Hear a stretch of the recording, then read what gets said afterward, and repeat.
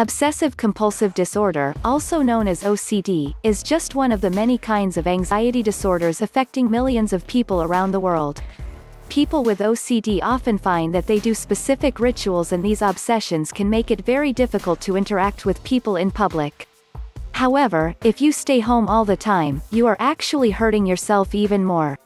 There are many ways to OCD-proof your home in order to move forward with your treatment and with overcoming OCD in your life completely.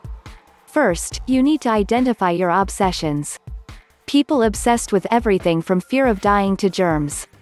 Your obsessions will be the things you think about all the time, even when you wish you weren't thinking about them. Next, identify your compulsions. Compulsions will be things that you feel like you must do because of your obsessions. For example, you may feel like you need to clean your bathroom a certain number of times a day or say a phrase a certain number of times repeatedly. Knowing your specific obsessions and compulsions is not difficult, but it is nevertheless the first step to helping to improve your condition while at home. OCD might become a regular part of your life while you are at home whereas you might be able to control yourself more readily when you are in public. Why? You may simply find it embarrassing to give in to your obsessions when you are around other people. That proves that you can actually have control, you just don't want to, for whatever reason, when you are at home. To combat this, invite friends into your home often.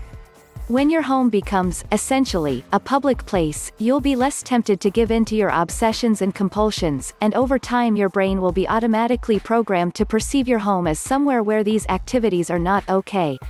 Another great way to combat OCD in the home is to purchase a stopwatch. Whenever you begin to obsess about something stop the watch, and when you're back in control, stop the watch. Do this throughout the day and then every night check out your total time for the day. You may be surprised about the time you've been wasting. Chart your progress and keep in mind this waste whenever you begin to obsess, you could be doing more enjoyable things with your time. OCD affects everyone, not just you, so by stopping your OCD behavior in the home you can work on a positive step towards recovery for yourself and those around you. If this video was helpful for you please make sure you give it a thumbs up, share it with someone who needs it, and subscribes to the channel for more videos here on Healthy Mind Healthy Body.